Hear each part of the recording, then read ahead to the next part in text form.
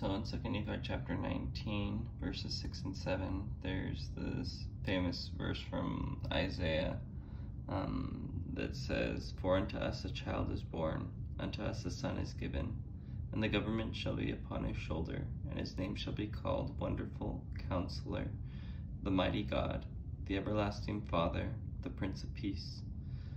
Of the increase of government and peace there is no end upon the throne of David and upon his kingdom, to order it and to establish it with judgment and with justice from henceforth forever, even forever. The zeal of the Lord of hosts will perform this.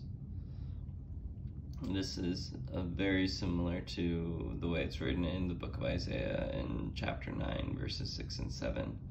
And what's and this verse is made famous, of course, by Handel Messiah's favorite song, the For unto us a child is born.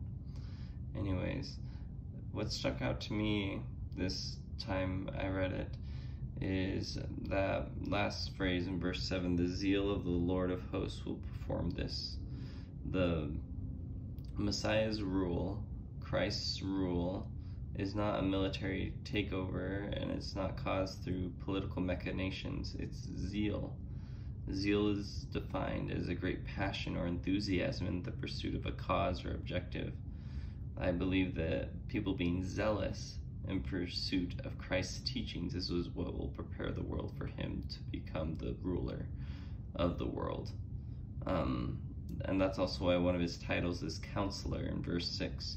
We won't have his law forced on us, we'll follow his teachings like someone might follow a trusted counselor. Christ has counseled us to be humble, to be prayerful, to forgive, to turn to God when we make mistakes or need comfort, to repent, and if we want to prepare the world for the rule of Christ, we need to be zealous about humility, zealous about forgiveness, zealous about charity, and about changing our hearts to love God and to love our fellow human beings.